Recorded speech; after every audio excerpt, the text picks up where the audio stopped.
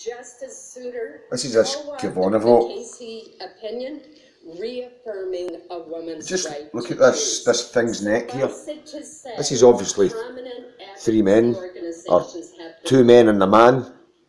Yeah, definitely two men and a man. Same interest groups have speculated that But just look at this this person's neck here, man. It's fucking it's tripping me out, man. I'm telling you. his record of judicial independence.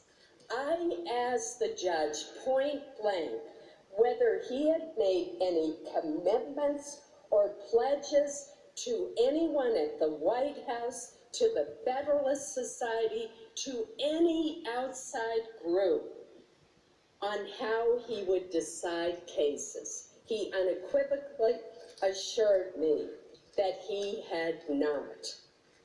Judge Kavanaugh has received rave for his 12 year track record as a judge, including for his judicial temperament. The American Bar Association gave him its highest possible rating. Its Standing Committee on the Federal Judiciary conducted an extraordinarily thorough assessment, soliciting input from almost 500 people, including his judicial colleagues.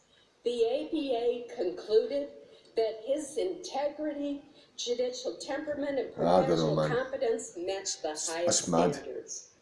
Lisa Blatt,